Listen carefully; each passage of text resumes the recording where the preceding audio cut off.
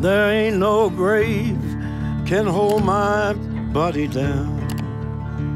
There ain't no grave can hold my body down. We created this project to give Johnny Cash fans a chance to collectively make his final music video. Each person created their own frame of the video to make a tribute for Johnny. When I checked out the Johnny Cash project, I was completely blown away. I got to see people's artwork flashing before my eyes, just different images, but always following this cohesive video storyline.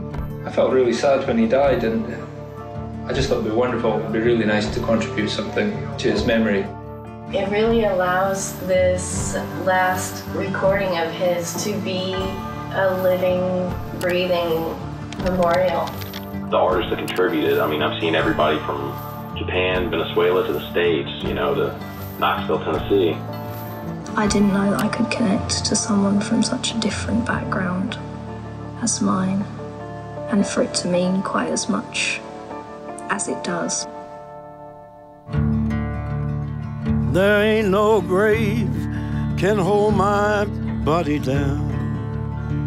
There ain't no grave can hold my body down.